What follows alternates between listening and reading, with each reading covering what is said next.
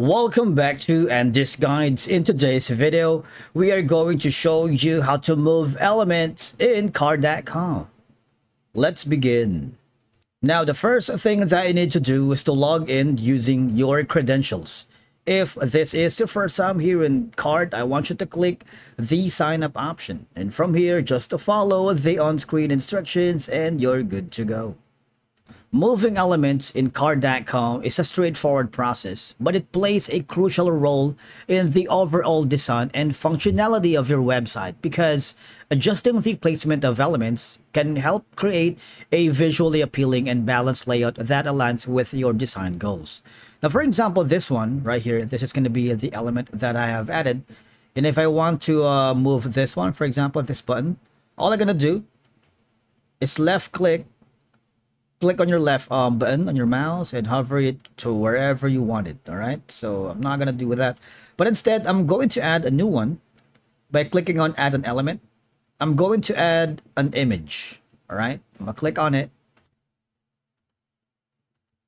What will happen is i need to upload um, a file. It accepts images in jpeg png gif up to 2 mb only and svg format okay? I'm gonna do with that right now.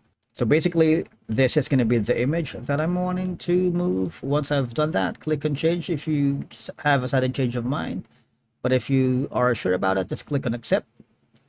And voila, this is going to be the... You see, if you use your um, left, you just use your the left button, it's not going to change, all right? You see that one? It's not moving. But instead, I need you to left click or right click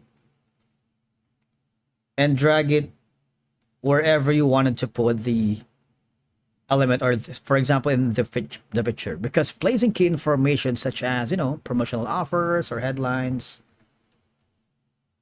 in a strategic locations draw attentions.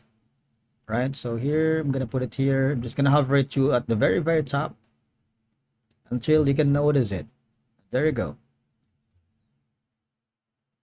now, you can also check on the uh, desktop view. For example, this is going to be for the mobile, right? So you can adjust positions so that you can achieve a harmonious design by aligning elements with your site's theme and visual style. Of course, this is going to be for the uh, around on the mobile device.